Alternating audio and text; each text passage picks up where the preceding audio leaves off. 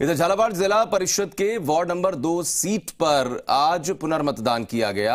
आपको बता दें कि 8 दिसंबर को हुई मतगणना में जिला परिषद वार्ड नंबर दो के बूथ नंबर बासठ की ईवीएम में कुछ तकनीकी खराबी हुई थी, इस वजह से परिणाम घोषित नहीं किया जा सका था, लेकिन झालावाड़ जिला परिषद के जिला प्रमुख चुनाव भी अब 11 दिसंबर को आयोजित करवाए जा रहे हैं।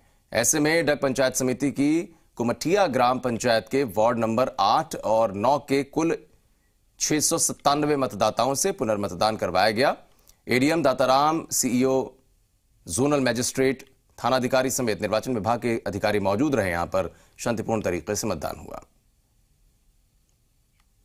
यहाँ वार्ड नंबर दो में हमारा पुनर्मतदान चल रहा है। ये हमारा ज़िले में पुनर्मतदान मशीन की, तकनीकी खराबी के कारण हुआ।